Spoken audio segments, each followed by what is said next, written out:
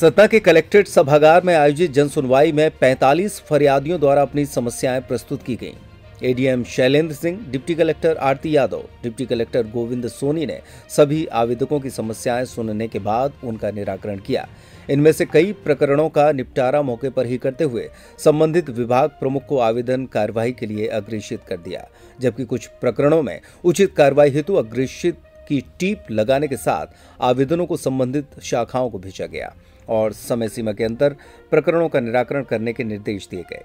जनसुनवाई के दौरान पारिवारिक बंटवारा, अधिग्रहित भूमि का मुआवजा दिलाने, जमीनी कब्जे के विवाद, नामांतरण, शासकीय पट्टी की भूमि पर से कब्जा हटाने, पीएम आवास आवंटन वृद्धावस्था, विधवा और दिव्यांग पेंशन न मिलने तथा नई पेंशन चालू किए जाने, ज़मीन का मुआवजा दिलाने, निःशुल्क खाद्यान्न पर्ची जारी किए जाने का आदेश देने आदि की मांग शामिल है।